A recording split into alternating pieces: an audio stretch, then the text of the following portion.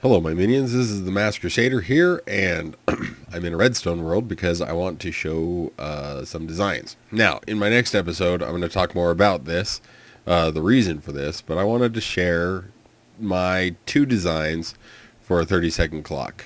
Um, I, I've been looking and I wanted to build a 30 second clock that worked in vanilla Minecraft. Now this is the common 30 second clock that you see.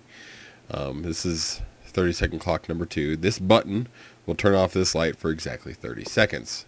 If I click it, you'll see that it turns on this this power that turns off this light and there's an RS NOR latch here which is automatically reset after 30 seconds. And the way this works is this is the one that uh, a lot of people use in uh, in custom maps, games, whatever. Uh, it's almost exactly 30 seconds. Uh, and it's very quiet. There are no pistons or anything really moving. There it goes. So it was 30 seconds. And the way it works is there's a there's a there's a dispenser up here that has blocks in it. So this has 36 more times that it can be used before uh, before it runs out. So what happens is when you push this button, it switches this RS NOR latch, which turns this off, which powers the piston, and it spits out one of those bricks, and the brick falls through the uh, the cobweb. It takes about 30 seconds exactly to fall through the cobweb, and then it trips a uh, little bit of tripwire down here, and that uh, resets the whole system. So the 30 second clock. The downfall is this clock needs to be refilled. Uh, the good thing is there's no real lag because there's no redstone or anything. It's just an entity falling. Uh, so it's not going to induce lag. It's not going to be noisy, but uh, yeah, it, it it's like that. Now the problem with one of these, this exact setup, is, and I'm trying to show you guys from all angles so I don't have to go over how I built it. The problem with this was until 146, when you could get Silk Touch onto a pair of uh, clippers, pair of shears, you couldn't get um, cobwebs legitimately in the game. It was a a uh, creative option or creative block by default. You couldn't you couldn't get it in the game, but now you can. If you enchant a book with Silk Touch and then enchant, use that book to enchant a pair of shears, you can get cobwebs legitimately in the game. So, uh, in my future project, I'm going to be using a 30 second timer, and I think I'm going to use this one since I can now get cobwebs in the game. But for those of you who don't want to waste your time, it took me um, about 2,000 levels to get a book with Silk Touch uh, so that I can enchant shears in my Let's Play. So if you don't want to waste your time um, getting the Silk Touch uh, shears to get the cobweb, I've got this guy over here, which is a 30 second timer as well. It is almost exactly 30 seconds.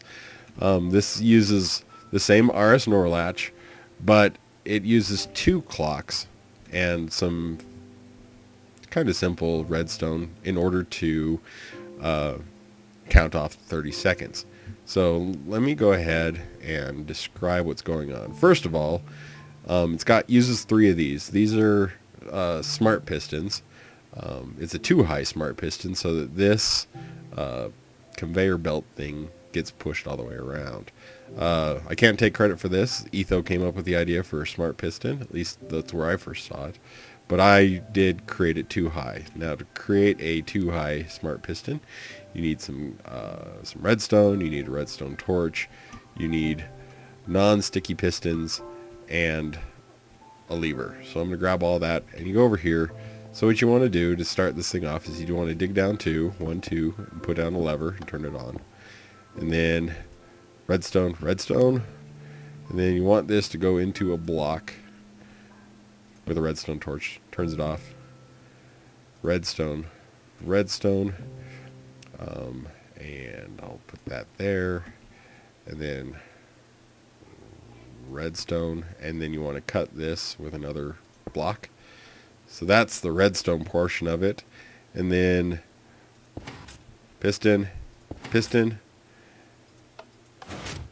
and there's your smart piston. Now the way this works uh, is if you put a block in the top, it won't push until there's a block on the bottom, but then it'll push both of them.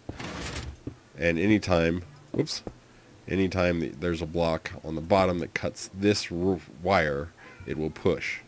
So, whoops, that won't cut. So, you'll see both of them pulse each time. So that's the two high smart piston. Um, there are three of those.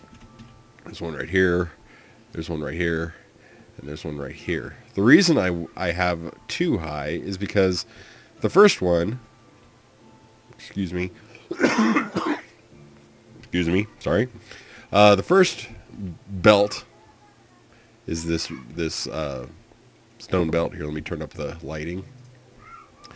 This first stone belt needs to be solid block so that it triggers the two high piston. The second belt, which is this glass belt, is what actually does the work.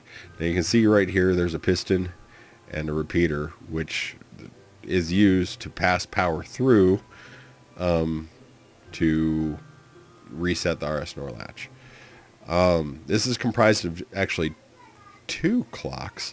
The first one, uh, this right here is a a monostable circuit, um, monostable monostable piston, because we don't want more than one little tick going through. And then on that, I've got uh, a wire to keep it pulsed up while this is turned on, so that we're not constantly feeding power through. Then the, there's another chain that goes off that direction, which goes into this clock.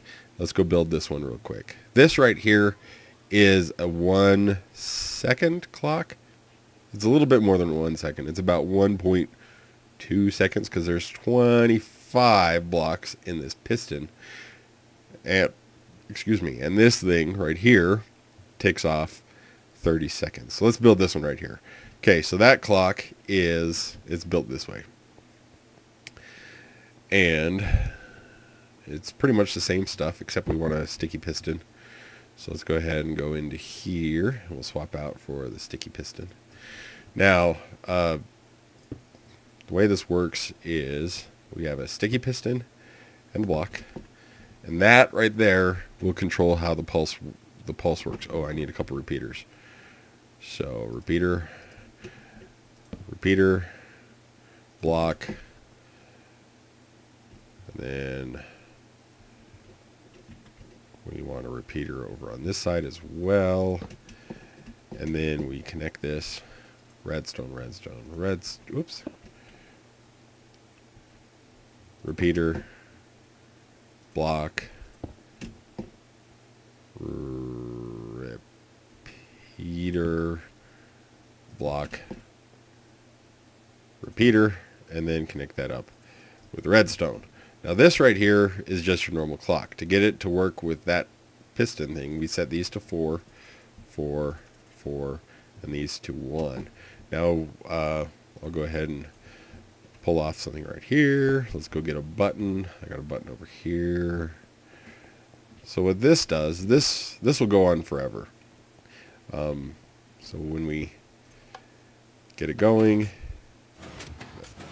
that will now pulse. It's about a one second clock.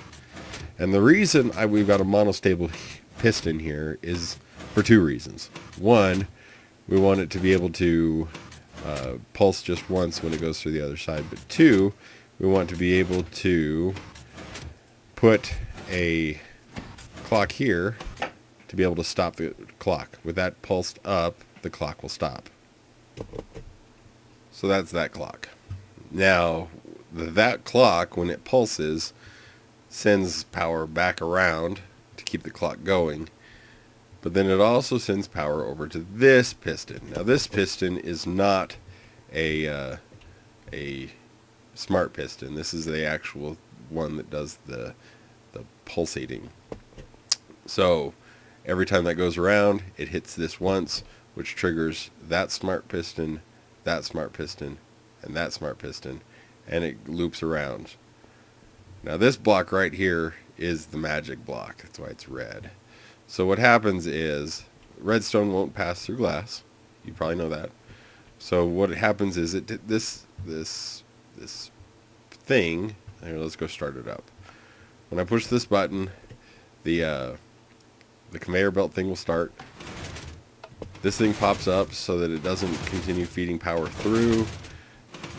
This block will continue around until it pops up back over here, sending power through, which will turn off the RS NOR latch and will stop the clock because that piston will go up and stay up when the when the RS NOR latch is uh, reset and then it will last for 30 seconds.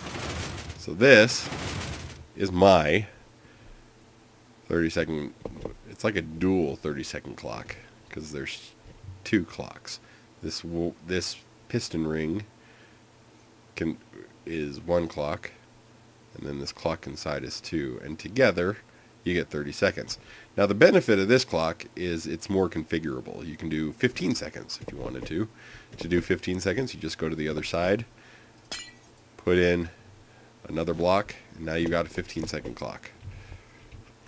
So, turn it on, it'll now last for 15 seconds instead of 30. If you want it to last for 12 seconds, you, you can shorten these and then it will be 12 seconds. So this one, with a little bit of, of uh, trial and error, will actually be quite um, configurable and you can have multiple settings. You can also have it pulse every other if you wanted to, rather than uh, every once loop. You could have it stop four or five times. So this one's very configurable. You can change uh, it from about a one second clock to depending on how big the piston ring you want you can get it to be probably two minute clock so that's my clock that one's the one I'm probably going to use in my let's play but I wanted to share both of them anyways this is Masked Crusader uh, I'm signing off thanks for watching my quick little video on my 30 second clocks, and we'll see you next. I see you guys are back, or you haven't left. This was my original uh, plan for this thing, but if you'll notice, the, there's the outside clock, and there's the inside clock. The problem was, um, because the smart pistons require a solid block, this actually didn't work as a clock because all of the the uh, blocks pass power through. So that's why I came up with the two high smart piston. And then uh, I was able to uh, control it a lot better. So that's what started the whole thing. I actually started building that in 1.5 and then 1.6 came along, which is why this 30 second clock will probably win, even though, like I said, to get a book that had uh, Silk Touch on it. It took me about almost 3,000 levels. Uh, that's almost 100 books. So you'll see that in, in my next Let's, Let's Play. Anyways, this is Masked Crusader signing off, and uh, we'll see you next time.